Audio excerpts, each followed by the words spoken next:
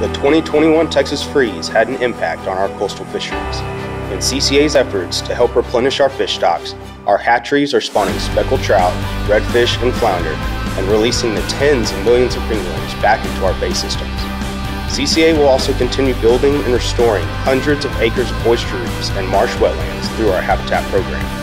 If you are interested in helping CCA with our recovery efforts, join today at ccatexas.org and help us make a difference.